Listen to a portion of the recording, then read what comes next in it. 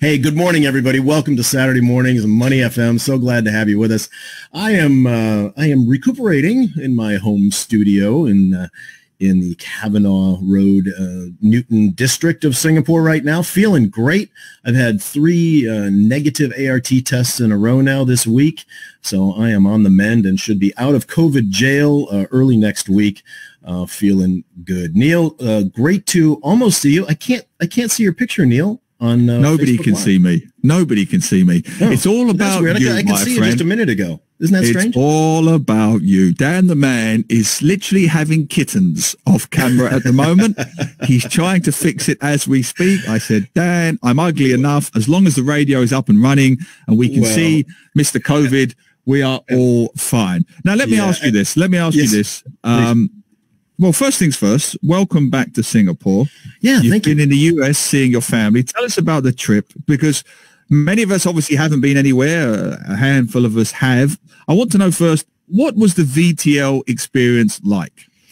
Yeah, look, I'll, I'll try not to bore everybody with you know my tales of my holiday and all that because I know I'm very mindful of the fact there are lots of our, our great listeners were not able to get out of town or chose not to uh, for uh, for health reasons, and I and I totally respect that. But um, as as I'd mentioned before, it had been between four and six years since we had seen my family and my wife's family, we just uh, we had to go. And um, there was that window, you know, when we were booking the flights several months ago, uh, where things were looking pretty good, right? And they opened the VTLs and all of that, and it, and it wasn't until we were actually on the trip that Omicron really started uh, rearing its ugly head, unfortunately. But we spent a total of three weeks in the U.S. The VTL flight to uh, the U.S. was great. Did the Singapore Airlines nonstop to JFK.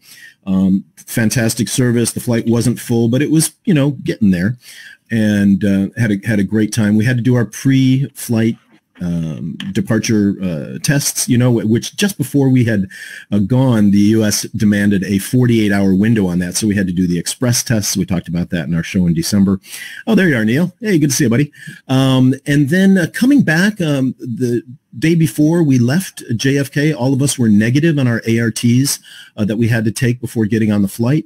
And then during the flight, our daughter started to feel a little bit off, a little bit of sore throat. And by the time we got to Changi and took a PCR test, uh, she uh, unfortunately tested positive, uh, and was immediately put on the um, isolation order at home, the stay home um, notice. And I have to I have to praise the Singapore government for coming up with this scheme to um, to get well at home for those of us who are not seriously um, uh, sick uh, you know, have serious symptoms of COVID because it has just been a, a lifesaver.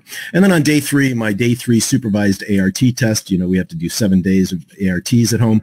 My day three uh, on my supervised test, I was diagnosed positive as well, which was exactly a week ago today. So been cool on my heels at home, isolated at home. Very thankful that our symptoms have not been uh, strong for myself or my daughter. My daughter's completely free and clear as of yesterday.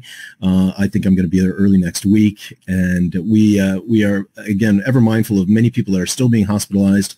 Uh, quite a number of deaths uh, around the world uh, due to Omicron and the regular Delta uh, variant. So um, we're very pleased and happy that we made it back safely. Just talking to a friend of mine this morning in the U.S.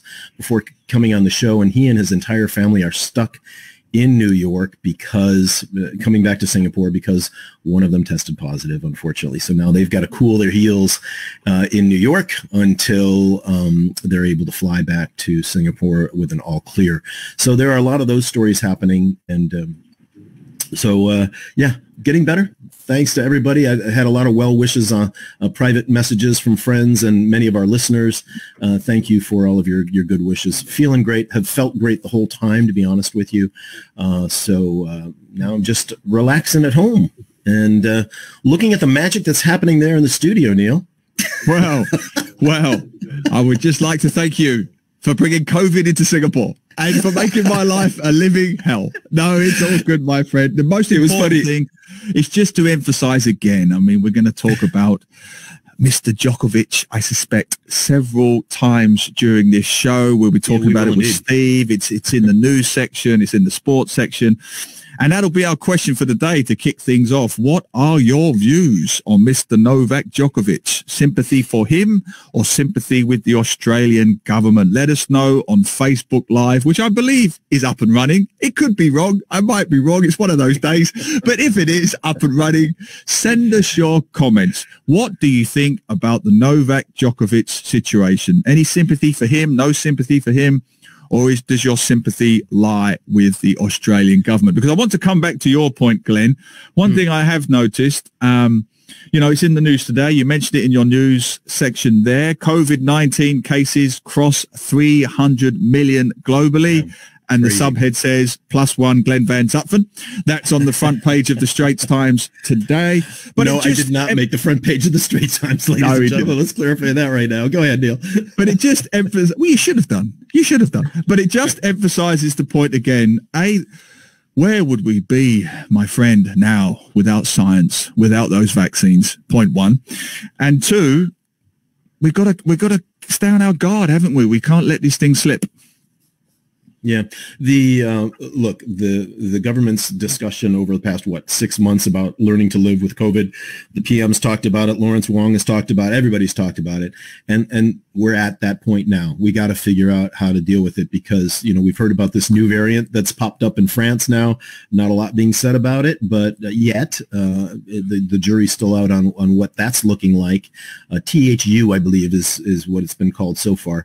Uh, I could be wrong on that, but. Um, you know, we got to figure out how to live with it. And I think one of the, the really positive elements that has come out of this in Singapore has been the get well at home um, heal at home program that the Ministry of Health has come up with, uh, because it just makes sense, right? You know, there's no need for quite honestly, folks like myself and my daughter to go into a quarantine facility or even a $2,500 a week hotel uh, for um, for recuperation when we can just do it at home because our symptoms are so mild. So I, I think that's part of our new reality of living with this, and, and that's what it's going to be going forward. Uh, no, so we, I agree completely. Good. Yeah, that's good, and that's the most that. important thing. And I wanted to say, sorry to talk over you there, but I wanted yeah, sure. to ask, how's your wife and son? I mean, they should go out and buy 4D. How can they be in the same house? Yeah, and not catch it? Well, uh, yes, it's true. Kat and Max uh, have been testing negative the whole time. Uh, I will say that um, you know Kate and I have been very careful to stay in our respective rooms during this time. Uh, you know, we have gone out to get a bite to eat or whatever, but, you know, masked and, and staying away from everybody else. So uh, it's not like we've, you know, we haven't had a, a little bit of flexibility around the apartment. Um, but uh, we've been very careful and they have been totally negative the whole time. So uh, that's been great. We're, we're very thankful for that. Um,